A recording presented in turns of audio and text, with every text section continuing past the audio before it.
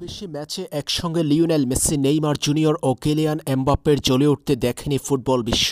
বর্তমান বিশ্বের অন্যতম সেরা এই তিন ফরোয়ার্ডকে নিয়ে আক্রমণ ত্রয়ী সাজিয়েছে পিএসজি। চলতি মৌসুমে পিএসজির এই আক্রমণ ভাগকে বিশ্বের অন্যতম সেরা আক্রমণ ভাগ বলে আখ্যা দিয়েছে অনেক ফুটবল বিশ্লেষক। সবশেষ ম্যাচে ন্যান্টেসের বিপক্ষে পিএসজি পরাজিত হয়েছে তিন এক গোলে। সেই ম্যাচে দলের আক্রমণ ভাগে ছিলেন লিওনেল মেসি, নেইমার জুনিয়র ও কেলিয়ান এমবাপ্পে। মাঝে মধ্যে পিএসজির এমন ব্যর্থতার পর বেশ কয়েকবার প্রশ্ন উঠেছে দলে তিন ফরওয়ার্ডের মধ্যে সমন্বয়ের ঘাটতি নিয়ে। কেলিয়ান এমবাপ্পে ও নেইমার জুনিয়র আগে থেকেই আছেন পিএসজিতে। চলতি মৌসুমের শুরুর দিকে দলটিতে যোগ দিয়েছেন লিওনেল মেসি। আর্জেন্টাইন ফরওয়ার্ডের সঙ্গে নেইমার জুনিয়র কেলিয়ান এমবাপ্পে সহ পিএসজির অন্যান্য তারকাদের সঙ্গে সম্পর্ক কেমন? এমন প্রশ্ন বারবারই ঘুরে ফিরে আসছে ফুটবল পাড়ায়। এবার সতীর্থদের সঙ্গে নিজের সম্পর্ক নিয়ে সরাসরি কথা বলেছেন লিওনেল মেসি। আর্জেন্টাইন ফরওয়ার্ড জানিয়েছেন, নেইমার এমবাপ্পের সঙ্গে তার সম্পর্ক কেমন? এ প্রসঙ্গে লিওনেল মেসি বলেন, আমি অ্যাঞ্জেল ডিমারিয়া ও নেইমার জুনিয়রকে আগে থেকেই চিনি। নেইমারের সঙ্গে বার্সেলোনাতে খেলেছি।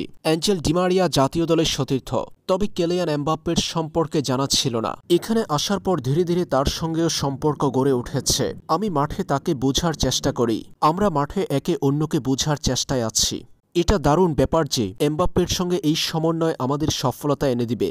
আমি ভাগ্যবান যে পিএসজির এই দলের সঙ্গে আমি যুক্ত হতে পেরেছি, যেমনটা বার্সেলোনাতে ছিলাম। পিএসজিতে আসার আগে থেকে কিলিয়ান এমবাপ্পেকে ভালো করে না জানলেও দলটিতে যোগ দেওয়ার পর ফরাসি ফরোয়ার্ডের সঙ্গে সম্পর্ক গড়ে উঠেছে মেসির, এমনটাই জানিয়েছেন আর্জেন্টাইন এই তারকা।